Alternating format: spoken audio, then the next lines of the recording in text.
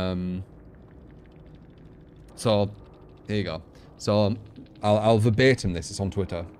Uh, people say, I say, do this and do that and don't have any ideas on how to do it. Well, that's a lie. Uh, I've said countless ideas on my streams, and here's just one. Suffering mechanic. The trial is about how much suffering you inflict on the survivors. Killing them ends the suffering.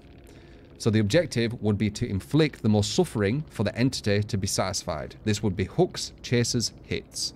Fresh hooks would give more, as the person who isn't hooked yet would have more suffering because of the anticipation or whatever. You can just make whatever you want up.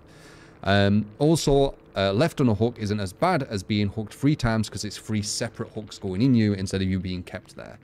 Both are very bad, but being hooked three separate times sounds a bit more suffery, doesn't it? Um, and even if it doesn't, who fucking cares? You can just make up the narrative. It's the you know it's your game. Delaying the gens allows you to inflict more suffering, so you have an incentive to slow the gens. Uh, throughout the trial, uh, it shows a bar of suffering you must hit for the entity to be pleased. Um, that will be the will, uh, the killer's win condition. On the survivor side, it will be the opposite. They want to induce, uh, endure the least suffering possible to win, possibly as a team or solo, uh, or a bit of both. Escaping a trial is meaningless, uh, as in the lore, they just go back to the campfire and straight back to another trial. Same with killing, as that ends the suffering early. Uh, this is one of many mechanics me and my community have fought up for the health of the game. It pushes more fun gameplay and rewards more than just kills and escapes. It rewards chasers, hits, hooks.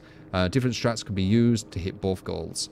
The suffering point system could be designed to push more fun, healthy gameplay too. Fresh hooks having the biggest impact to suffering, chasers having the least, and hits having an in-between, uh, for example. One of many ideas I've had, a hundred times better than the current kill escape. There you go.